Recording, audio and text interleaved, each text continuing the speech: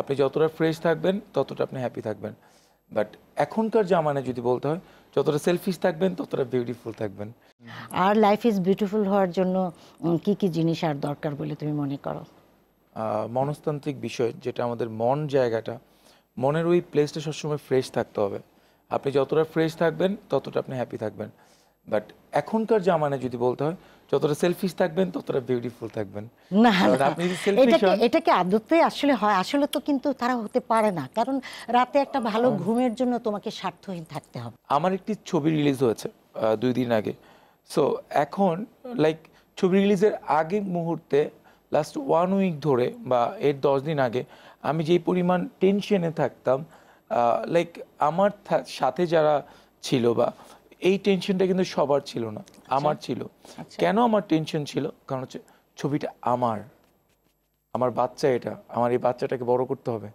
এটা যদি হিট লিস্টে যায় অলরেডি হিট লিস্টে আছে একটা ভালো অডিয়েন্স ক্রাউড যেটা বাপ্পির অডিয়েন্স তারা দেখছে এবং যারা যেটা দেবাশিস দার অডিয়েন্স তারা দেখছে যার যেটা অপু বিশ্বাসের অডিয়েন্স তারা দেখছে। সো এই টেনশনটা যদি আমি না করতাম তোর ছবি শেষ করছি ছবি ছবির জায়গায় চলে যাক। আমি নেক্সট প্রজেক্টে ঢুকে যাই। এই যে টেনশনটা এই টেনশনটা কিন্তু আপনাকে ভালো থাকতে দিবে না। সো আপনি যদি একটু সেলফিশ হন আপনি কিন্তু হ্যাপি থাকতে পারবেন। না হ্যাপি হ্যাপি জিনিসটা আমি ইয়ে করব না বাপি। কারণ হ্যাপি থাকতে গেলে আমার মনে হয় যে বিরাট একটা মনের স্যাটিসফ্যাকশন দরকার। সেই মনের স্যাটিসফ্যাকশনটা তুমি কিন্তু ওই যে যেগুলো বললে ওগুলোর থেকে হবে না।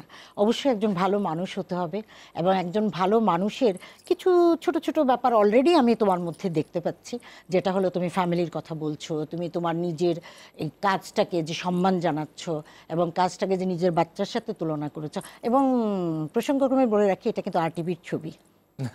অবশ্যই এটা বেঙ্গল মিডিয়া এবং আরটিভির ছবি কারণ হচ্ছে আরটিভির এটা একটি বড় প্রোডাকশন বলা যায় কারণ হচ্ছে যে ছবিটিতে বেঙ্গল আছে যে ছবিটিতে আরটিভি আছে যে ছবিটিতে দেবাশিস দা আছে যে ছবিটিতে বাপ্পি আছে যে অপু আছে ফুল কমার্শিয়াল একটি ছবি।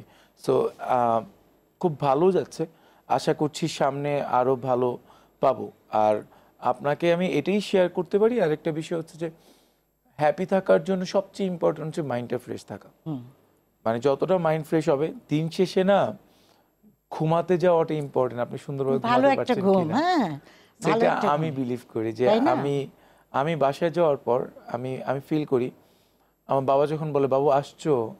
বাবু ঘুমাও কিছু খাবা খেয়ে ঘুমাও আসছিস এখনও বাসায় ঢুকিস না কেন?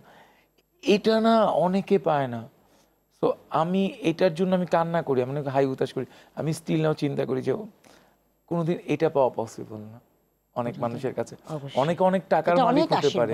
অনেক আশীর্বাদ অনেক অনেক টাকার মালিক হতে পারে অনেক অনেক পাওয়ারের মালিক হতে পারে বাট ওদের মনেও শান্তি নেই যতটা যতটা শান্তি আমার মনে আছে। কাজ করতেছি ঘুরতেছি ফিরতেছি বাপ মা নিয়ে আসি ঘুরতেছি ভালো আছি।